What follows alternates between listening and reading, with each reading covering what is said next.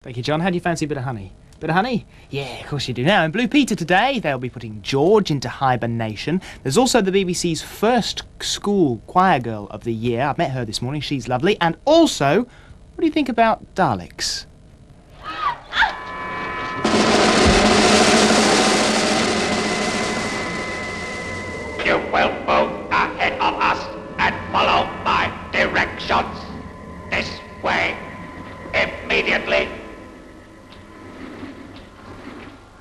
I said immediately. Fire!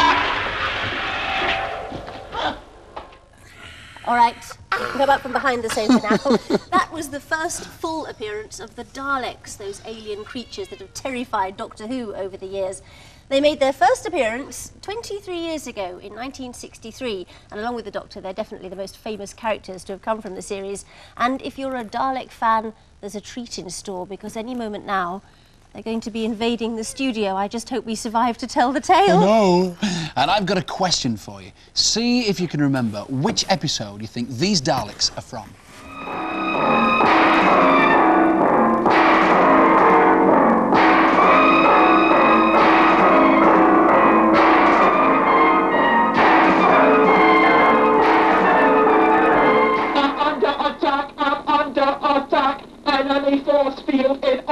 Operation.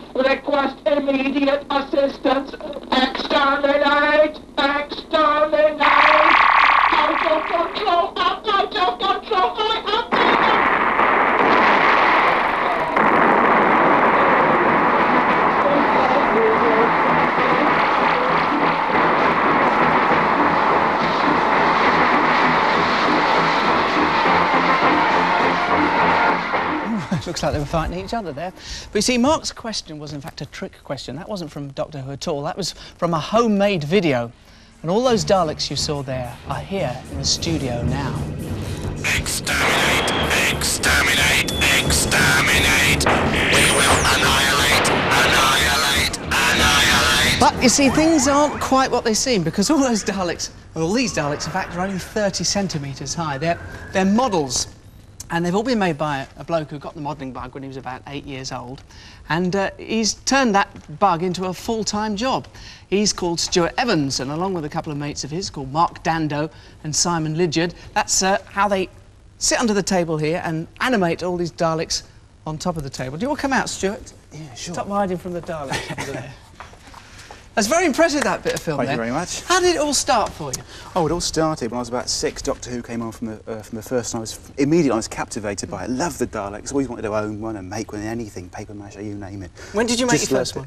Uh, uh, that was out of uh, building blocks when I was about uh, four. I, th- I know about seven. Me nan helped me. And what about one of these ones, the first Uh, one? This one, well, it all came about because a strange opening, but uh, I had a job I was pretty bored in, Yeah. and so I decided to make. Sounds stupid, really, but an, o- my own Dalek. And uh, I was in the civil service at the time, and it was like a, a release of uh, tension and things. So this was made originally out of. This is the original one I made. Yeah. This was made out of plastic. All these balls here are anorak toggles, and they're actually sawn down the middle.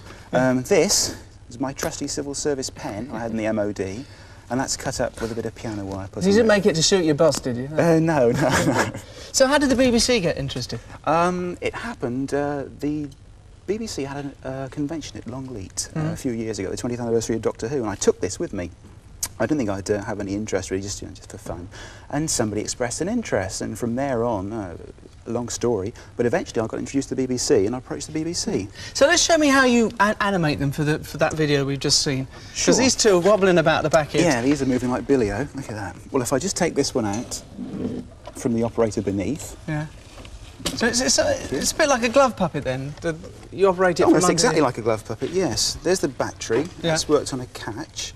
So that does the head, I see. That works the lights there. This little toggle here, if we can find it. Yep. That uh, just come disconnected. Never mind. That moves that moves that up and down, or did.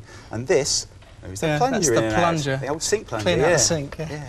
How do you get the, the ray gun to work, the exterminator? Yeah, I'll show Bit. you. The, the ray gun exterminator is actually hidden from view. There's a piece of plastic pipe feeding the bat. This is all just put on for show. Yeah. Uh, this is a compressed air can, and by very carefully pressing this, Oh, very good. you get that. and a frozen finger. Very clever, that. There's something over here that I think even I could operate, which is not uh, too technical, was the way you moved four Daleks along at once using a, a plank of wood. And to get the first one to twist, you've got it on a kind of um, pulley system. Yep, with a string. I tell you what, even the smallest one is still giving me the shivers.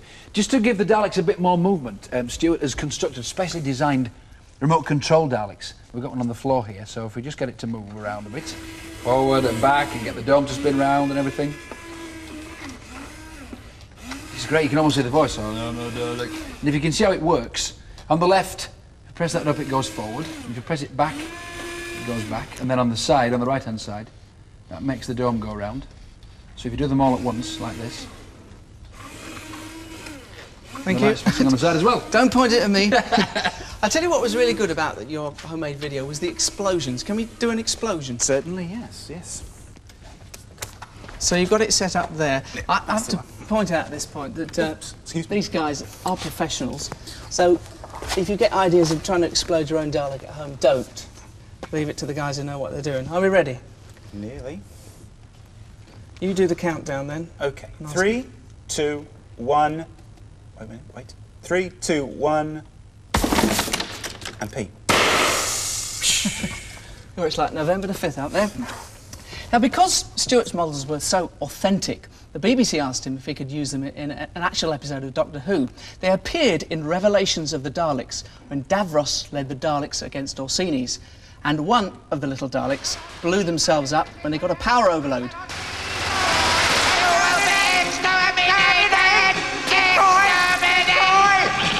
You are old, Orsini. Your reflexes have gone.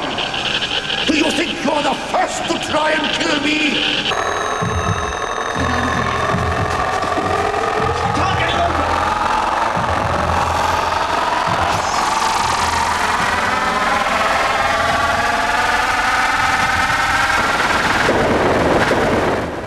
Incredible to think they're just 30 centimetres high, but as Mark quite rightly said, still frightening. And thank you very much to Amy and Jack Dow from Tackley in Oxfordshire, who sent us a picture of a Dalek that their father made for them. Now, Amy is standing in front of it, and she's six and a half, and it is towering above her. So I don't think I would like to come face to ray gun with that. Well, we hear about a lot of treasure trails on Blue Peter, and we hear about a lot of detective stories too. But I don't think we've heard about a story quite as extraordinary as the one that Simon investigated deep in the heart of the Worcestershire countryside. This has managed to break the UK free-falling parachute record. Happy birthday, Bessie Stocks! Bessie Goodbye! Stocks is 90 today. Bye-bye.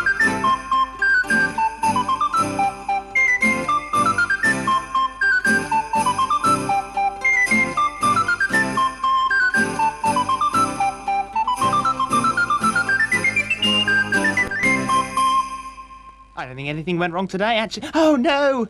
It's a Dalek! Don't point it at me, point it down there. Thank you very much. Right, we're back tomorrow. We've got Jimbo and the jet sets at 3.55. Oh, Cholsey, get under the table, Cholsey.